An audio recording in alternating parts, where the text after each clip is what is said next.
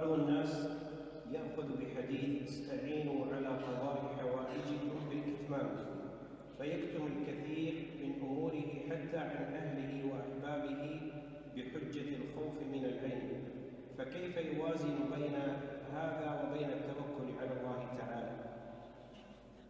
أما حديث استعينوا على قضاء حوائجكم بالكتمان فهو حديث مختلف في الحكم عليه. وأكثر أهل العلم يضعفونه.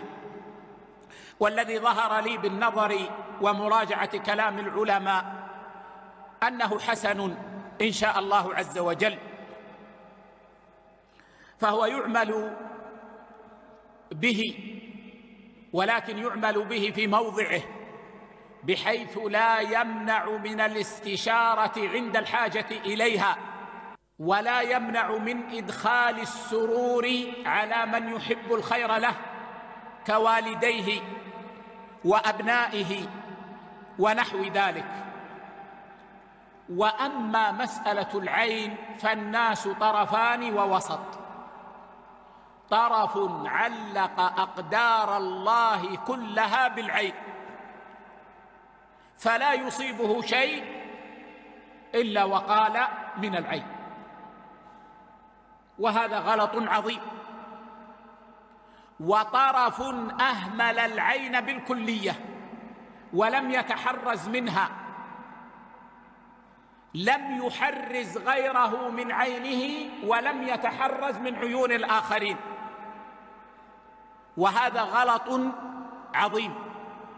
لا شك أن العين حق وأن العين حاسدة أو معجبة.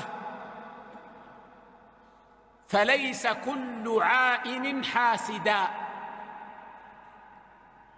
فقد يعجب الإنسان بشيء فيه فيصيب نفسه بالعين وقد يصيب ولده.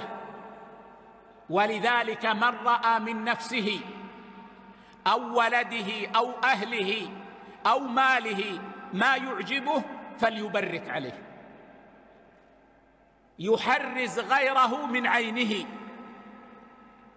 ويتحرز من عيون الآخرين والتحرز من سمات الأزكياء من غير إسراف ولا وسوسة وللأسف للأسف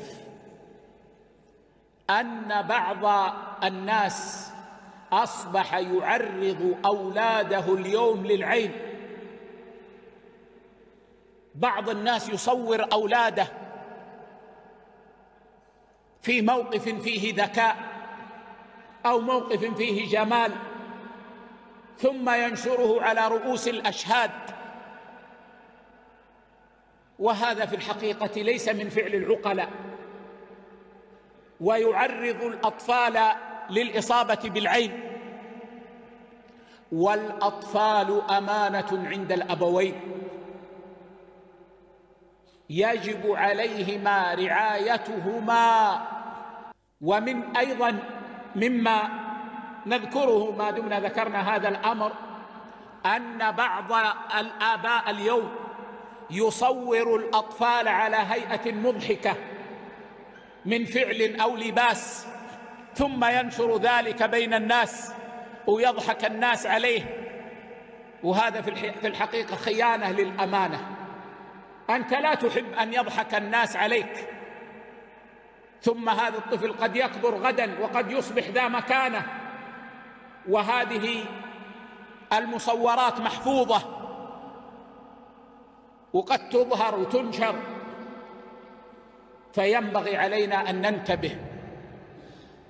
وأن نكون عقلاء في تعاملنا مع هذه الأمور. يرفع الله الذين آمنوا منكم والذين أوتوا العلم درجات